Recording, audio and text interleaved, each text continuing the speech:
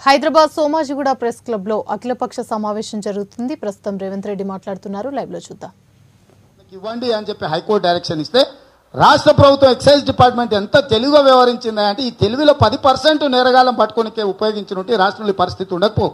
ఏంది వాళ్ళు? వీళ్ళు న వీళ్ళు ఎవరెవరినైతే పిలిచి విచారణ చేసిరో వీళ్ళు పేపర్లు రాసిరో వీళ్ళు ఎఫ్ఐఆర్ చేసిరో ఈ చిత్తకాయితాలని ఒక పెద్ద పెద్ద పది బెండర్లు కట్టి తీసుకుపోయి వాళ్ళకి ఇచ్చొచ్చారు ఇగో ఇది మేము సేకరించినాం ఇది అని.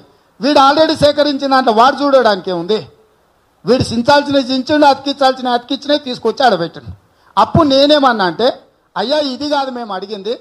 నువ్వు నేరగాల నుంచి ఒక పది మంది డ్రగ్ పెడ్లర్స్ నుంచి డ్రగ్ కన్జ్యూమర్స్ నుంచి పది ఎలక్ట్రానిక్ గ్యాడ్జెట్స్ సీజ్ చేసినావు కదా? ఒక పది మొబైల్ ఒక మూడు నాలుగు ల్యాప్టాప్లు సీజ్ చేసినావు కదా? ఇదంతా నీకాన్నే పెట్టుకో. ఏందొద్దు?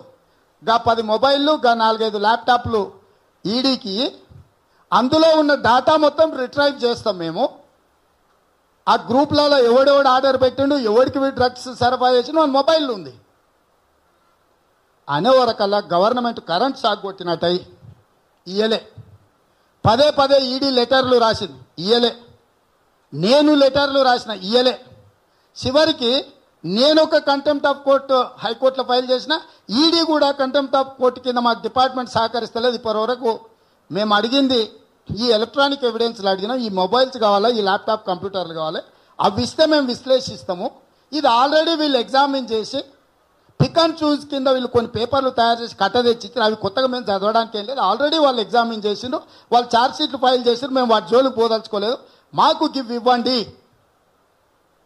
ఈ డ్రగ్ పెల్లర్స్వి డ్రగ్ కన్జ్యూమర్స్ ఎవరైతే ఉన్నారో వాళ్ళ మొబైల్స్ మాకు ఇవ్వండి. మేము కంప్లీట్గా డాటాను రిట్రైవ్ చేసి ఆ ల్యాప్టాప్లు వాళ్ళు వాళ్ళని ఇస్తే అందులో మొత్తం సమాచారాన్ని సేకరిస్తే ఈ గ్రూప్లలో ఎవరెవరు ఉన్నారు? ఉన్నోళ్ళని ప్రభుత్వం ఎవరిని వదిలింది? ఎవరిని పిలిచింది అనేది లెక్క తేలుతుందని మేము ఎంబడి పడితే యువరాజు గారు ప్యానిక్ అయిపోయిండు. షేక్ అయిపోయిండు. సారోళ్ళు ఇద్దరు ఉన్నారు. రాజకీయాలలో. ఆయన పోయి మేము అంశాలు ప్రస్తావిస్తే కోర్టులో పోయి కేసేసింది సార్. డ్రగ్స్కి సంబంధించి అయిపోయింది సార్. Two minutes. సార్ ఉండాలని. సో డ్రగ్స్కి సంబంధించి నా పేరు ప్రస్తావించొద్దని హైకోర్టు మన కోర్టుకు పోయి స్టే తెచ్చుకున్నాడు యువరాజ్ గారు. ఇప్పటివరకు ఎప్పుడైనా జరిగిందా? ప్రభుత్వము జవాబు ఇవ్వాలి ప్రభుత్వము విచారణ చేయాలి. ప్రభుత్వం ఆరోపణలు వచ్చినప్పుడు ఆరోపణల మీద వివరణ ఇవ్వాలి. వివరణ ఇవ్వకుండా కోర్టుకు పోయి నా గురించి నా వివరాలు ప్రస్తావించొద్దు నా గురించి మాట్లాడొద్దు అని హైకోర్టు పోయి స్టే తెచ్చుకున్నాడు. అందుకే ఎక్కువ తక్కువ వివరాలు చెప్పే పరిస్థితి లేదు. ఫైనల్గా ఈ మధ్యకాలంలో ఒక సెన్సేషన్. పుట్టింగ్ అండ్ మింక్ అని ఒక పబ్లో రేడ్ చేసిన నూట యాభై మంది దొరికిండ్రని వచ్చింది.